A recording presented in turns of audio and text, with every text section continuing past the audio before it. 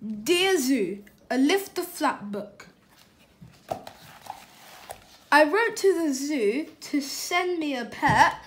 They sent me an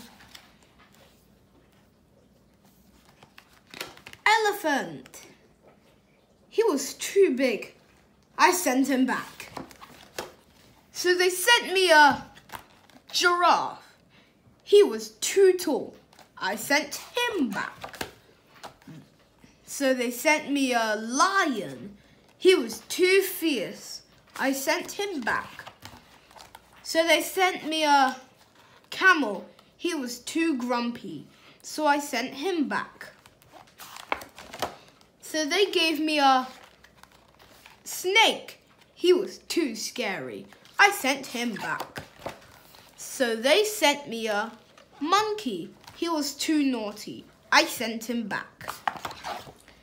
So they sent me a frog. He was too jumpy. I sent him back.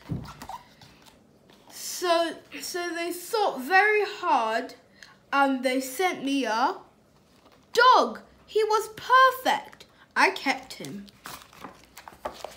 The end.